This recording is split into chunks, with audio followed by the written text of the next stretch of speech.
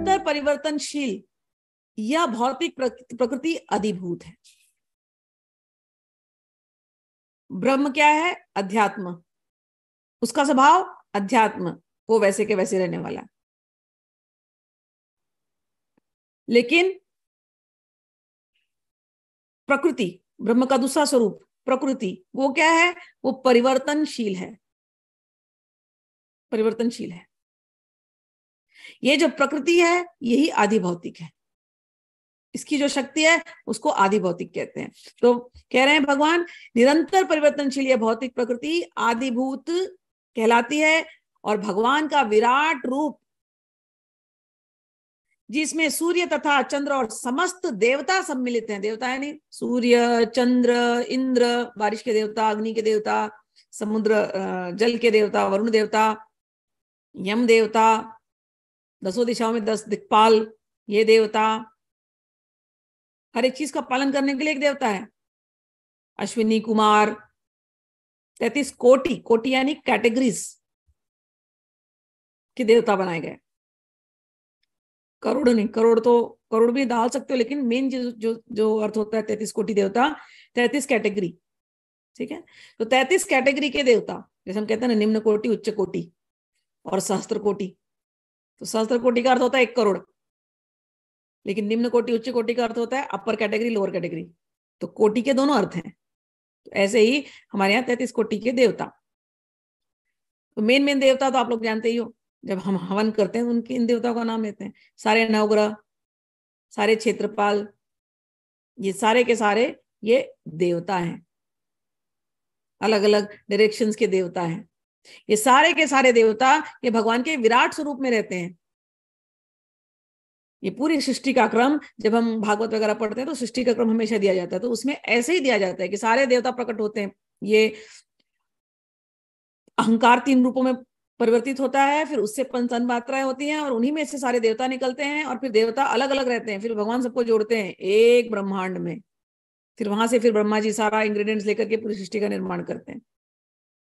तो देवी देवता जिनकी अभी तक पूजा आप कर रहे थे, उसका एक ही डेफिनेशन है, ये सारे।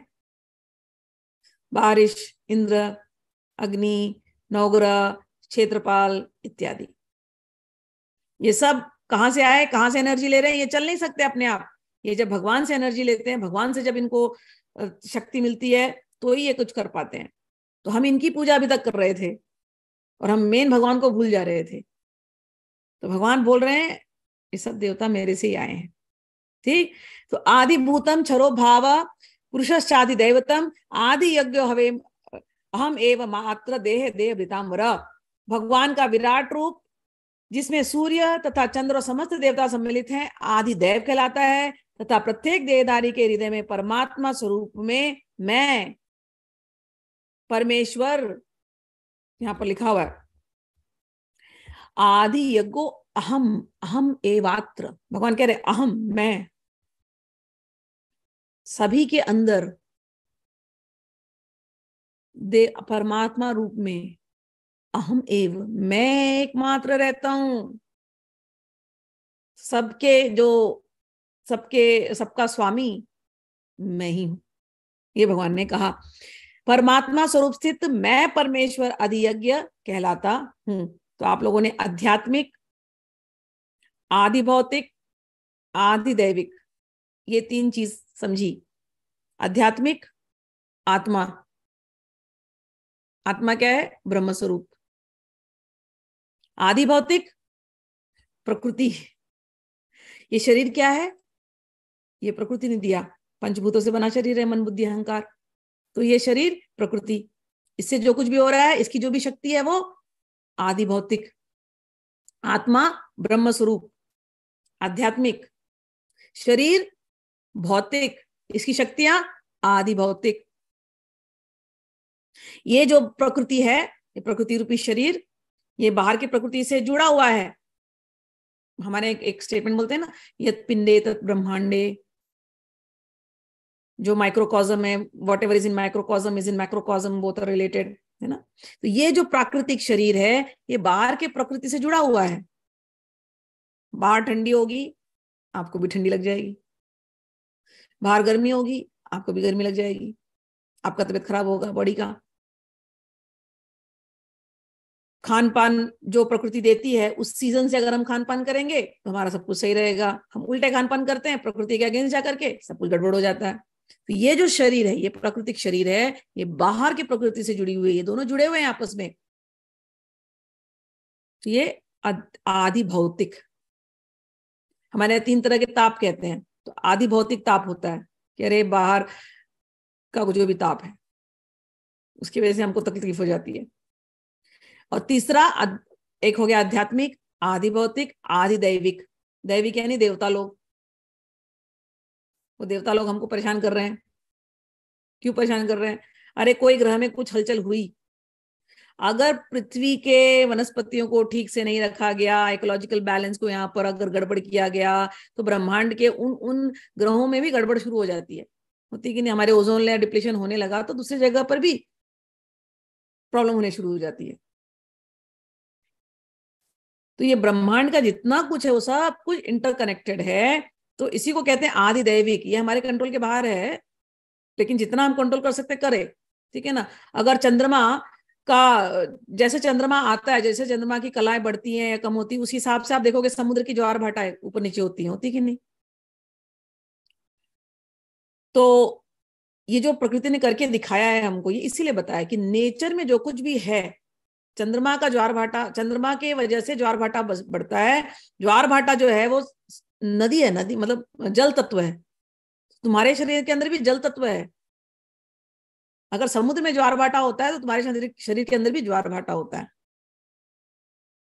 ये जो है ना, ये प्रकृति का खेल है। तो ये आदि दैविक तो हमारे जो ऋषि मुनि, मैंने कहा रिसर्चर है, वो साइंटिस्ट होते थे तो वो जब ध्यान करने बैठते थे ना तो वो विधि विधान, ये रिचुअल्स ये तो अभी के जमाने में हो गए, क्या मंत्र जपे, क्या माला जपे, वो इस साइंस को जाकर के समझते थे कि मेरा मन, ये चंद्रमा का स्थान है, अगर चंद्रमा की कला घटती बढ़ती है तो मेरा मन को भी वो को भी वो तंग परेशान करता है या जो भी करता है, और उस हिसाब से मेरे शरीर में भी हलचल होती है। वो इतनी सूक्ष्म तरंगों को वो पकड़ते थे, इतनी सूक्ष्म वेदनाओं को मैंने कहा ना, वेद यानी वेदना। वो इतनी सूक्ष्म वेदनाओं को पकड़ते थे, इसीलिए उन्होंने सारा साइंस बनाया, जिसको हम केवल रिचुअल समझते हैं, या हम केवल रिचुअल ही जानना चाहते हैं। साइंस जानना ही नहीं चाहते हम क्या हमारी इच्छा पूरी जाए। लेकिन यहाँ पर बात साइंस की हो रही है। तो आदि दैविक ये देवता लोग जो भी है, इनसे कनेक्टेड है सब कुछ। तो मनुष्य तीन तरह के तापों में हमेशा फंसा रहता है, आध्यात्मिक आदि भौतिक आदि दैविक सूर्य ग्रह शनि ग्रह सब परेशान कर रहे हैं। आदि दैविक प्राकृतिक आपदा आ गई। आदि दैविक साइक्लोन आ गया आपके एरिया में, क्या करोगे? सब कुछ वेल प्लान है, और साइक्लोन आ गया, सब डूब गया, क्या करोगे? नया नया घर खरीदा बहुत अच्छी सी जगह में, खूब पैसे डाल करके, पता चल गया पहाड़ों में आग लगी, घर भी जल गया, क्या करोगे? आदि दैविक समझ में आया? तो इस प्रकार से ये तीन आधी ये, ये इन चीज़ों को याद रख लेना। ये क्या होता है हमारे एक शब्द यूज़ करते हैं तापत्रय। तीन तरह के ताप। हर व्यक्ति जो जो पैदा हुआ है वो इन तीन तरह के तापों से सत, सताया जाता है। आध्यात्मिक। आध्यात्मिक यानी आपकी आत्मा। आत्मा क्या है? आपकी चेतना। चेतना में क्या ताप होता है? चेतना में राग और द्वेष काम लोभ मोह मद मत्सर का ताप होता है। वो आध्यात्मिक ताप है। आदि भौतिक ये शरीर के जो शरीर बूढ़ा होने वाला है, मृत्यु होने वाली है, बीमारियों का घर बनने वाला है, ये शरीर का ताप है। आधि भौतिक और आधि दैविक प्लानिटरी देवताओं का ताप है। तो ये तीन तरह के ताप होते हैं।